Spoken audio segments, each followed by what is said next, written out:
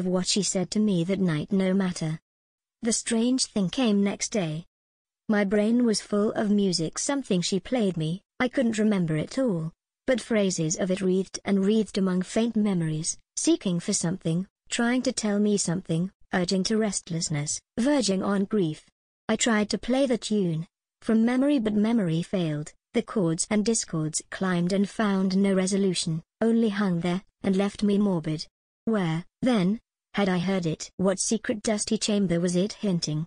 Dust, it said, dust, and dust, and sunlight. A cold clear April evening, snow bedraggled, rain-worn snow dappling the hideous grass, and someone walking alone, and someone saying that all must end, for the time had come to go. These were the phrases, but behind, beneath them, a greater shadow moved, and in this shadow I stood and guessed was it the blue-eyed lady, the one who always danced in golden slippers? And had I danced, with her, upon this music? Or was it further back the unplumbed twilight of childhood? No much recenter than that. You know, without my telling you, how sometimes a word or name eludes you, and you seek it through running ghosts of shadow leaping at it, lying in wait for it to spring upon it, spreading faint snares for it of sense or sound, until of a sudden, as if in a phantom forest, you hear it, see it flash among the branches, and, scarcely knowing how, suddenly have it. Well, it was so I followed down this music, glimpsing a face in darkness, hearing a cry, remembering days forgotten, moods exhausted, corners in sunlight, puddles reflecting stars, until, of a sudden, and least of all expected, the thing resolved itself, and I remembered an April afternoon, eight years ago or was it nine?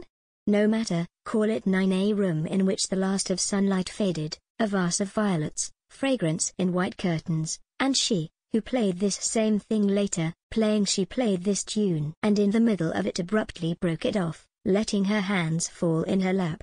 She sat there so a moment, with shoulders drooped, then lifted up a rose, one great white rose, wide open, like a lotus, and pressed it to her cheek, and closed her eyes. You know we've got to end this Miriam loves you. If she should ever know, or even guess it, what would she do? Listen, I'm not absurd. I'm sure of it.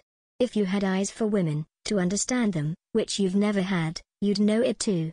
So went this colloquy, half humorous, with undertones of pathos, half grave, half flippant, while her ringers, softly, felt for this tune, played it and let it fall, now note by singing note, now chord by chord, repeating phrases with a kind of pleasure was it symbolic of the woman's weakness that she could neither break it nor conclude. It paused, and wondered, paused again, while she, perplexed and tired, half told me I must go, half asked me if I thought I ought to go. Well, April passed, with many other evenings, evenings like this, with later suns and warmer, with violets always there, and fragrant curtains. And she was right. And Miriam found it out. And after that, when eight deep years had passed or nine we met once more, by accident but was it just by accident? I wonder, she played this tune. Or what, then, was intended.